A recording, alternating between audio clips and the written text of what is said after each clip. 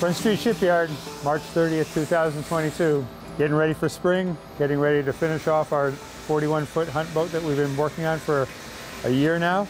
We're going to be putting the deck on very soon. This is our first yacht finished off. It's going to be really exciting. It's super owner, great to work with. The crew is really excited because it is such a nice high quality boat. So everybody's putting their great effort into making everything just right. And it's going to be a, a fantastic running boat because it's a hunt and it's going to be a great, comfortable boat and do exactly what the owner wants it to do, which is fantastic. And while we're trying to do all that, we're also trying to get all the boats finished up from our winter projects and get them ready to go into the summer for a great cruising ground up here in Maine. Hopefully a lot more people will join us up here this summer coming up.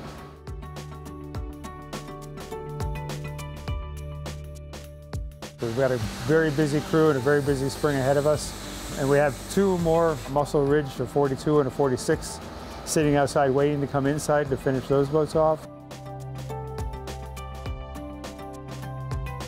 We also have a Bide coming in, which is 136 foot younger. So that's going to have a major refit starting in the end of April. So it's going to be a crazy summer, a crazy fall. We're pretty well booked into next winter now.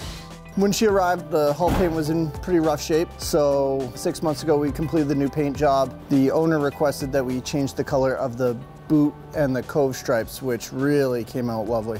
The deck was really rough from years of wear and tear, so we went through and we just gave the whole deck a light sanding to kind of get back to a nice flat surface and bring back some of that teak color, which looks great. One complaint the owner had was that under power, especially, he couldn't see over the Dodger um, while, while steering the boat.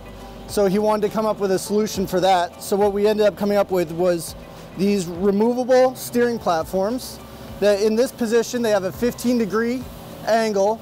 So when you're, when you're steering under sail, you have a comfortable flat surface to stand on. But when under power, there's a kickstand that comes up and that gives you a five and a half inch lift so you can see over the Dodger. And then, when he wants to get rid of them, simply pull them out of the way, and they're gone. This machine is, as far as I know, is the largest bed on the eastern seaboard. For the shipyard itself, we can in-house cut anything from tanks to hull plates to intricate pieces. It's a five-axis head. The bed is 20 feet wide by 40 feet long. It's got an add-on lathe on the end of it that we can cut pipe with and bevel. As far as the manufacturing part of it, we have outside companies that reach out to us all the time to do big projects, small projects. It's an amazing machine and takes a lot of the handwork away from if you had to cut pieces by hand and then shape them.